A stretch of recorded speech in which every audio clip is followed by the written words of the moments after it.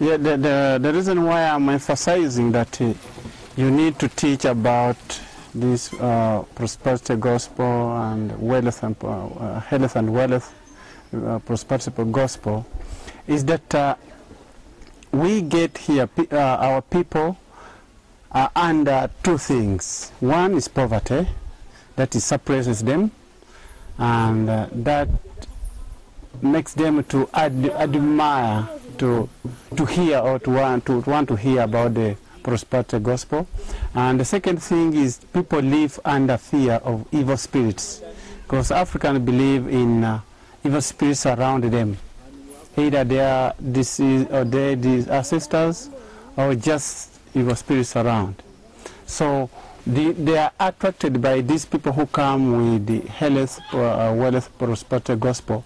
When they put up the crusade, they attract people that you bring the sick, you bring the demon possessed people, you come, if you are poor, you come, you get rich.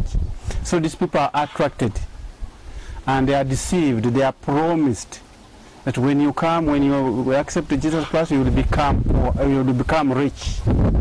Uh, when you accept Jesus, you, you, you, you will get out of poverty. And yet, these people who are calling them, they are also deceived.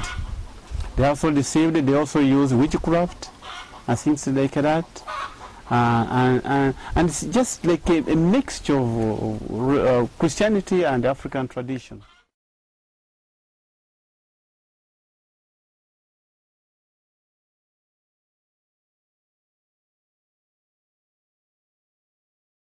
Uh, there are some people who come to church who call themselves Christians, uh, who, who claim to have accepted Jesus Christ, and yet they still also believe in the evil spirits, they still believe in witchcraft. So, because they also live under fear, they want to hide in Christ, and yet they still fear, they still pay allegiance to evil spirits, they still believe in uh, witchcraft. So, I was trying to warn the parent who brought the child that when you dedicate your child to Christ, you must believe and trust that the Lord will keep that child. And that show, that means that you must turn away from witchcraft and turn to Christ and trust in Christ and will keep the child.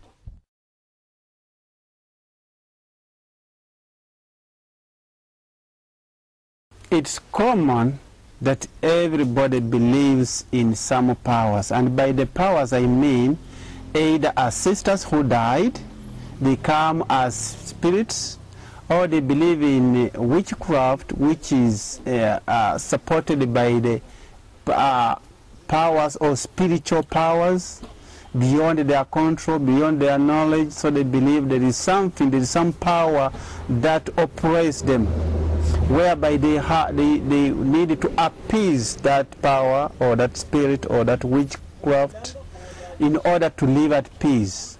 So they, they will claim, even when the rain doesn't rain, they will claim maybe we have not appeased certain spirit. If the crops don't come well, they say somebody has bewitched my garden. If their children are not doing well, they will say somebody bewitched their children. Uh, those are some of the, the, the, the examples to show that they believe in some powers.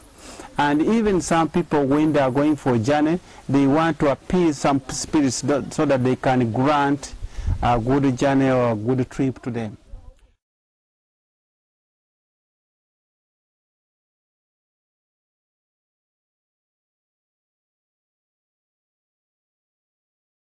When people become Christians, they don't always turn away from the former beliefs they had.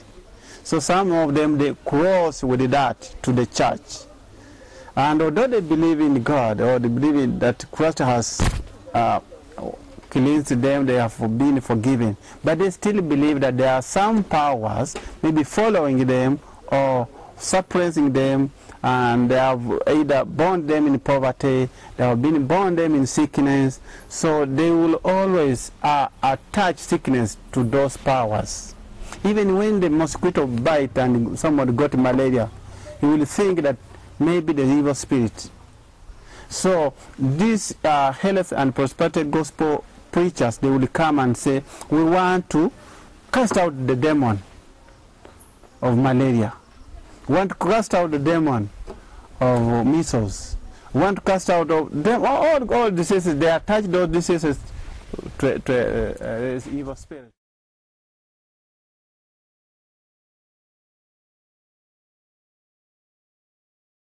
There are many, even uh, not only just churchgoers or believers, but even pastors also still believe in witchcraft. And we have seen some cases where people, even pastors, have practiced witchcraft to heal. And they claim that we have used God's power to heal, and yet they have used uh, witchcraft. Because we have got some testimonies of people whom they claim they healed. They claim that they were given witchcraft and they were do, do, done on this and, and all kinds of things.